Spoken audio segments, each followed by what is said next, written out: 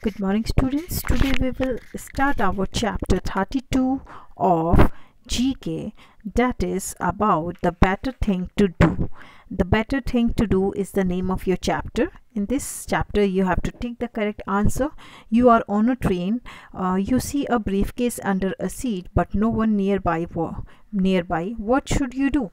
So here are the um, options given ignore it because it doesn't belong to you pick up it uh, up and try to open it bring it to the notice of the fellow commuters commuters मतलब यात्री आप एक train पे जा रहे हैं सफ़र कर रहे हैं आपको एक ब्रीफ केस दिखता है सीट के नीचे लेकिन उसके आसपास कोई भी नहीं है तो आपको क्या करना चाहिए? तो यहाँ पे आपके फोर ऑप्शंस दिए हुए हैं। Fourth one is screaming with panic and scare the passengers around you तो करेक्ट ऑप्शन इसमें सी है bring it to the notice of the fellow commuters जो आसपास यात्री हैं आप उनको uh, उनके नोटिस में ले आएँगे कि यहाँ पे किसी का ब्रीफ है। uh, तो प्लीज़ देखिए अगर किसी का हो। Now the second question is you have arranged a party at your house and the number of guests has exceeded the initial head count you do not have enough food for everyone what should you do आपने एक party arrange की है और जो number of guest आपने count list बनाई थी उससे ज़्यादा हो गए हैं लोग तो इस केस में आप क्या करेंगे क्या आप को करना चाहिए इनफ फ़ूड जो कि आपके पास नहीं है according to guest So first option is order same food items and request your guests to wait for a while. Tell the people who came late that the food is over.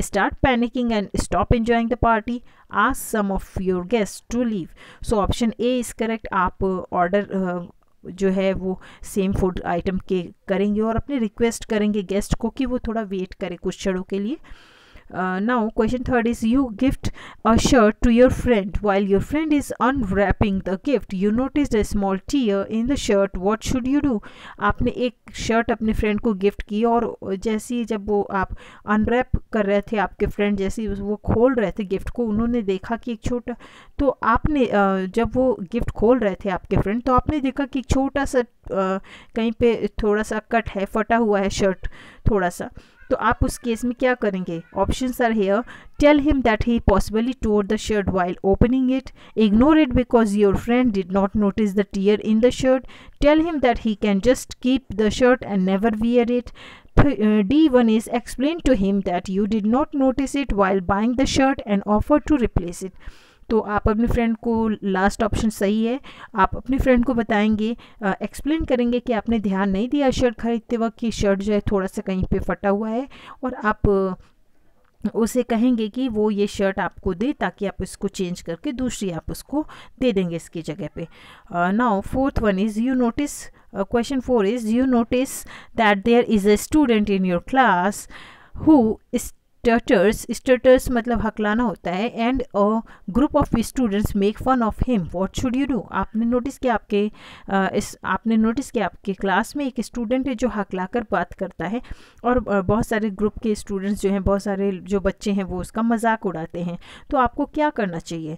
A option is join them in making fun of your classmate tell your teacher about it try to explain to your classmates that what they are doing is wrong not to do not do anything about it so option c is correct try to explain to your classmates आप अपने classmate सहपाठियों को समझाएँगे कि वो जो कर रहे हैं उसे चिढ़ा रहे हैं उस बच्चे को ये गलत बात है so question fifth is you are at a swimming pool when you see a boy drowning. What should you do?